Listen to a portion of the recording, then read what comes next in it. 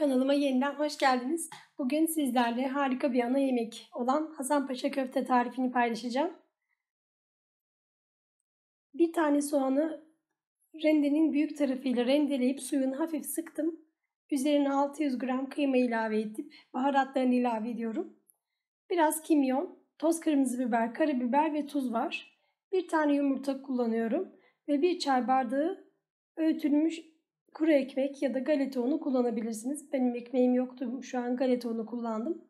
Bunları güzelce macun kıvamına gelene dek yoğuruyoruz. Et kıymamız bu kıvama geldiğinde kıymadan minik çanaklar yapıp borcama diziyoruz. Bu şekilde elimizle minik çanaklar yapıyoruz.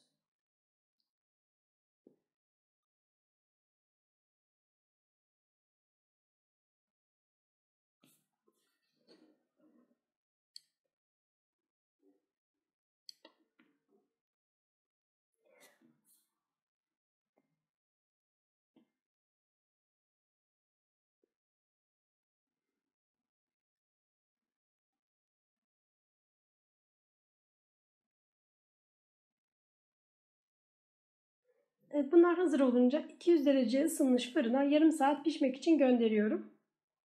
Bu aşamada ben içinin patates püresini hazırlayacağım. 2 tane patatesi haşladım. Sıcakken üzerine 1 yemek kaşığı tereyağı ve tuz ilave ettim. Bunları güzelce eziyorum. Bunlar köftelerimin içinin püresi olacak. Ee, bakın arkadaşlar sıkma poşeti yoksa evinizde benim vardı ama sırf size göstermek için buzdolabı poşetiyle şu an yapacağım bu işlemi.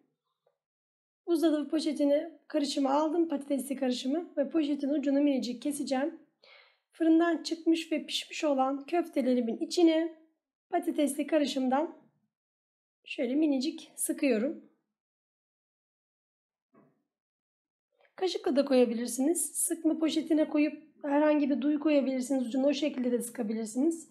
Fikir tamamen size ait tercih ama fikri benden. Ben buzdolabı poşetine koydum sizlerin de görmesi açısından. Çünkü her evde bulunamayabiliyor krema sıkma poşeti.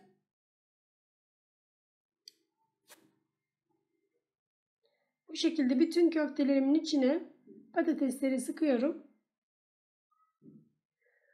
Arkadaşlar dilerseniz köfteleri pişirmeden önce ıı, salçalı bir sos yapıp o şekilde de tabanına sos döküp öyle de pişirebilirsiniz. Ama ben açıkçası yani bu şekilde daha çok sevdiğim için böyle yaptım bu sefer. Sosunu daha sonra da ilave ettim. Şimdi patateslerimin üzerine rendelenmiş kaşar peynirleri ilave ediyorum.